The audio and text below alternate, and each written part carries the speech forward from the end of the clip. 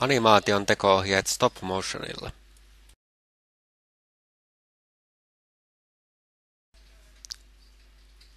Avaa animaation teko-ohjelma painamalla Stop Motion kuvaketta. Taustana animaatiolle voi askarella vaikkapa kartongista. Tabletin voi kiinnittää esimerkiksi tuolin reunaan maalarinteipillä. Paina violettia pluskuvaketta aloittaaksesi uuden animaation. Aloita kuvien ottaminen painamalla punaista palloa.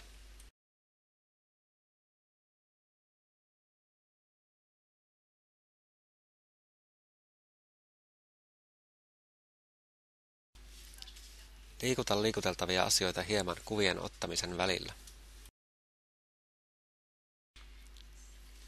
Jos haluat poistaa epäonnistuneen kuvan animaatiosta, paina kyseistä kuvaa pohjassa ja näytölle ilmestyy valikko, josta klikkaat Delete.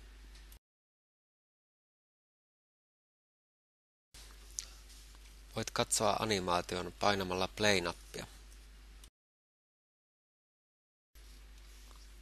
Kun animaatiosi on valmis, tallenna se tabletille.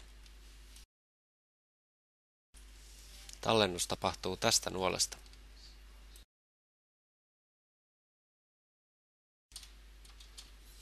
Sen jälkeen painat tästä. Seuraavaksi valitse tallennan nimellä eli Save As. Valitse tallennusmuodoksi HD.